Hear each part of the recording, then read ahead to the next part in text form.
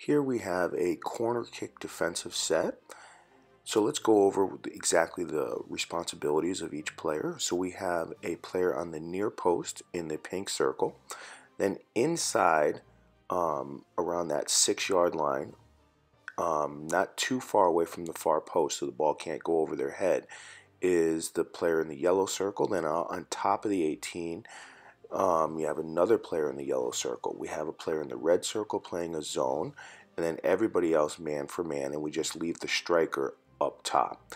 This is a very adaptable defensive formation, and you'll see that in the next slide why that's adaptable.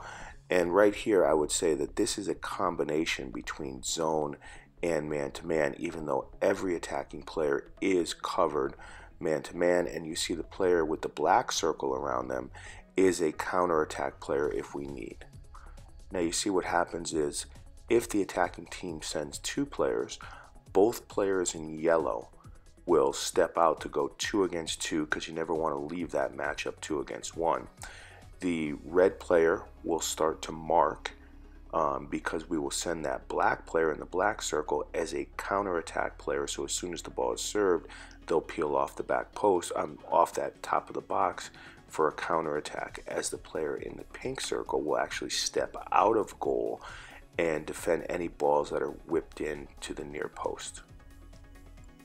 Here is a attacking corner kick set that you can create multiple corner kicks from. The first one would be option A, which is just a service straight into the box. You could go near post, in the middle, or far post. Option B is you would go short corner you could either short corner stop it, serve it in, or if the defense only sends one player, you can go 2v1.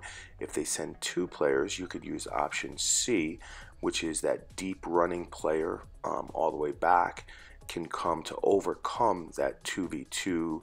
Um, you could play that option C in there. They can serve the ball into the box. They could pass. They could dribble. They can penetrate. Whatever it is. So you can see you can run five, six, seven different corner kicks from this one setup.